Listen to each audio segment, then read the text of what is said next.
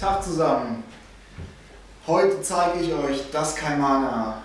Kaimana ist hawaiianisch und bedeutet Kraft des Meeres.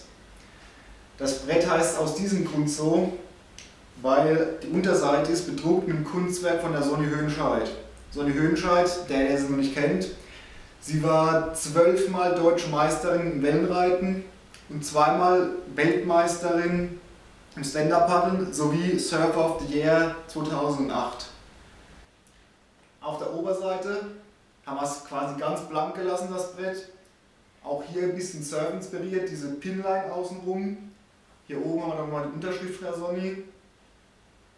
Das Besondere hier an dem Brett ist, dass wir nicht einfach Rollen aus dem Regal genommen haben, sondern die Rollen extra nochmal für diese Sonderedition äh, haben drucken lassen. Hier ist nochmal das Design aufgegriffen. Da sieht man hier diese Sonne. Unterschrift von der Sonne ist auch nochmal drauf. Und ansonsten die ganz normalen Datenangaben der Rolle.